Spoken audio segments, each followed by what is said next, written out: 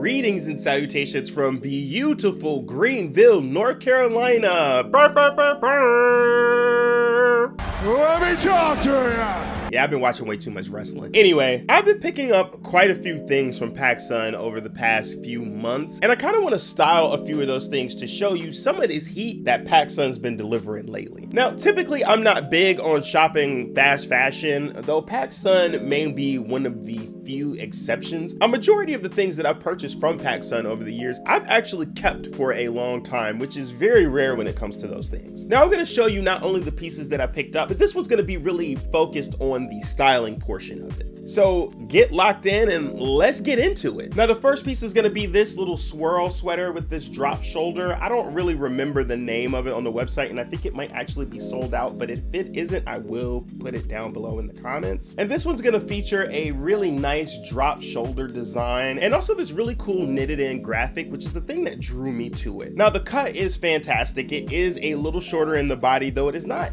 exactly cropped. It does have a kind of a little bit of an extended sleeve and a nice kind of boxy fit throughout the body. So since it has this really gorgeous kind of aqua blue color with the black accents, I wanted to style it with some blue jeans. So I went with my Levi's Vintage Clothing Double Double Good Selvage 501 jeans. The one thing I like about these jeans is they are a little wider than your normal 501 and it has that cool paneling on the back as well as the embroidered pocket. So some real nice pops of color, not only the light blue denim, but also that pocket detailing. Now for a little color contrast, I threw on my Dr. Martens Adrian Snaffle loafers. And I was actually about to sell these, but when I was putting this video together and kind of styling some things, I thought they would actually look good with these and I was not wrong. It actually inspired me to go ahead and keep them for the long haul. Now, if you follow me over on Instagram, you'll know that I went through a little bit of a scarf era a few months ago. And not that it's necessarily over, it just doesn't feel quite as cool here as it did down in Miami. But I did want to bring that back and threw on this vintage scarf I found at a thrift store down in West Palm Beach not that long ago. Now capping it off, since it is a little chilly down here, I threw on this old Oakenfort denim shearling jacket that I've held on to for the past several years. It was honestly the perfect color to pair with the jeans. They're a little bit different, but just nice enough to give me that Canadian tuxedo effect. Now for the next piece, it's gonna be this PacSun cropped fit graphic sweater. Now this sweater features some similar details from the last one that I showed off, including the drop shoulder, the slightly extended sleeve, and a little bit of distressing at the bottom band. Now the thing that drew me in the most about this sweater was not only the color, but also that crop fit. If I'm being completely honest, I'm not a huge fan of the graphic, but I am gonna show you a plain black one a little later on. And I think the graphic actually gives it a little bit of pop or makes it stand out a little bit more. I'm just not really big on like city name graphics and generic, I don't know, kind of I can't really describe it, but I think you might know what I'm talking about if you're into clothes. Anyway, it's a very simple cotton knit. Nothing too crazy going on with this particular sweater other than that little bit of distressing and that lovely crop cut. So for styling, I went ahead and paired it with my Rick Owens wide leg Creatch cargos in this dust color. I thought it was a really nice monochromatic look that still provided a little bit of contrast as well since the colors are not like perfectly matched. For the shoes, I went with my Rick Owens Milk Geo baskets. I've been wearing those pretty consistently for almost a year. They're pretty dusted, but I still love wearing them. They've gotten to the point where they're actually very comfortable to wear. Also, I thought that milk color would bounce nicely off of the graphic on the front of the sweater. Now, I also threw on this Kith and Kangol bucket hat, which is featured in this really nice kind of woolly felty material. I didn't really look at the materials tag. I'm gonna assume it's either wool or like a wool blend or something along those lines, but it is the absolute perfect alternative to wearing like a skull cap as I find this bucket cap to be very, very warm when I wear it. Now the colors don't match up perfectly, but I think it creates a really nice color profile on the body. Now for our next piece I wanna showcase, it's gonna be this Playboy by PacSun button-up shirt, which honestly, what really got me about this, because I'm not really big on the Playboy thing at all, whether it's PacSun making it or Supreme or anybody else, it's, it's just like not my thing. But this back graphic, man, it's so sick. And I love the combination of like felt lettering and then kind of that chain stitching on the bottom. They really snapped on this. And I, I, I saw this and I was like, yo, I gotta cop this. And I got it at a really good price. It was it was like 25 bucks. Now, it was not only the lettering that drew me in, but also the fit. It actually features a crop cut, which I've been all about. I say it all the time. I'm about five seven, five seven and a half. So shorter crop cuts work really well on my body type specifically. Also, the fabric is exactly what I like in my button-up shirts, just something nice and flowy. Feels almost like a rayon type fabric. Then it has the white stitching accents throughout to kind of give it a little bit of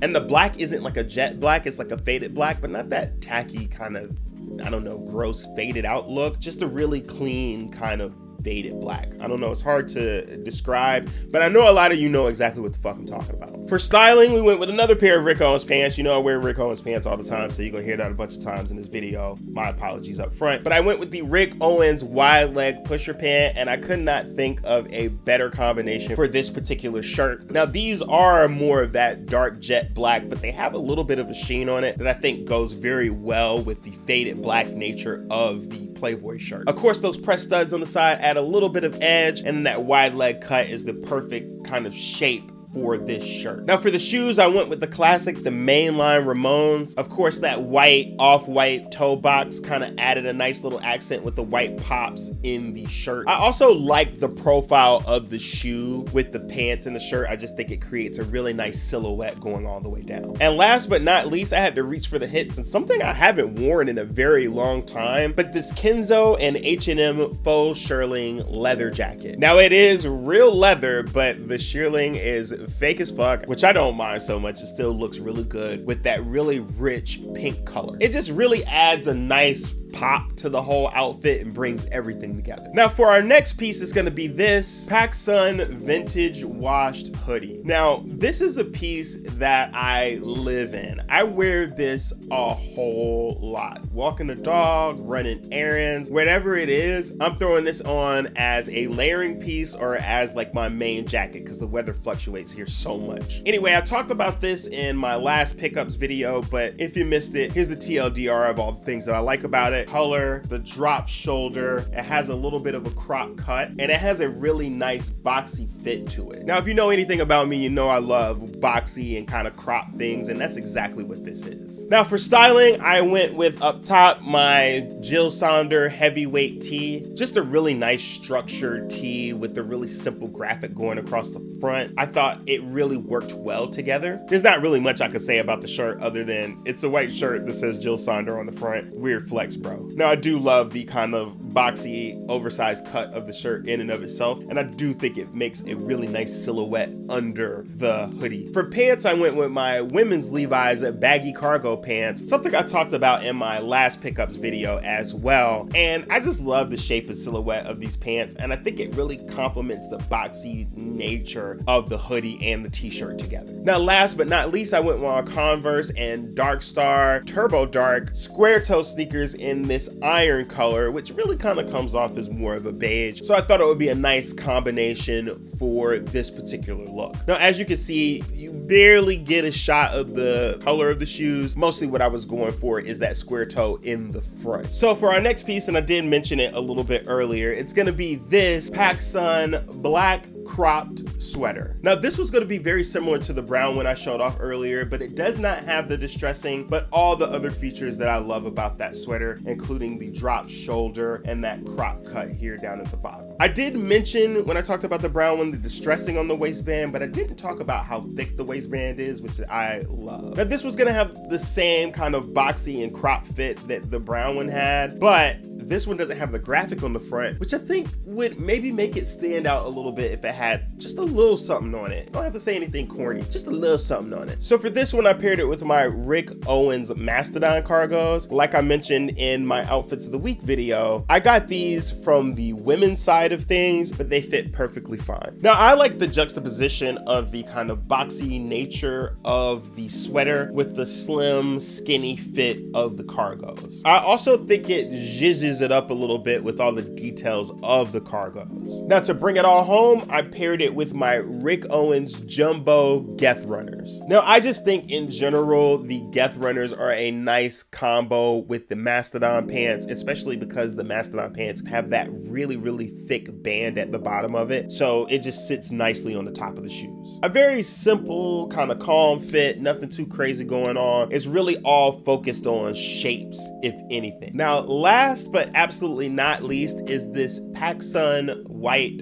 waffle knit tee. Now, the reason why I'm not gonna hold this up is because the t-shirt is so bright, it actually washes my entire face out. So you're gonna see it in the B-roll. But the things I like about the shirt are similar to the things I like about pretty much all of these things. The drop shoulder, the boxy fit of it. That waffle knit construction actually is really nice, soft, and comfortable on the body. And it's just a really great basic. Now, the one thing that's not going on with this is a crop cut, which is fine. Everything doesn't have to show my waistline anyway. Now for styling, I paired this with these Ksubi Anti-Ks in this really sliced up kind of colorway wash, whatever it is. And my thinking with the styling is I actually thought it would really bring the outfit up a little bit and make it kind of edgy and really make it stand out. Now I also tossed on my Ksubi balaclava, but I don't have the full mask pulled up. I kind of like it as sort of like a hood. Now since it is a little chilly out there, I threw on my Heron Preston HP NY hoodie, which I talked about once again in that same pickups video. Now, I like the pairing of this with the t-shirt because the t-shirt is a little bit longer than what I would normally wear. So the hoodie itself is kind of cropped, so it kind of peeks out under the bottom, giving you a nice little silhouette to go with it. See how I'm avoiding saying that word proportions because I really hate saying it. I just feel like it's said a lot. So I'm gonna try something else. I'm gonna say silhouette. Now for the shoes, I went with my beloved Rick Owens Mega Bumper Geo baskets in the black and white colorway for obvious reasons. I mean, it just blends really nicely. And I actually think the pants fit really nicely over them. So that's it. That's the whole looks, my friends. What do you guys think? What, what, you, what you think about the fits? Comment below and tell me what your favorite look is, or maybe tell me how you would have done it a little bit different. You know, everybody's styling sensibilities are all kind of a little bit different. So tell me what you're feeling. Now, if you were digging this video, man, let, let the algorithm know you fox with your boy, man. Click that like button. Click that subscribe button. You know, all that motherfucking YouTube shit that people say, click it, click it, click it, click, so we can continue to grow this channel. You know, let them know, let them know. You know what I'm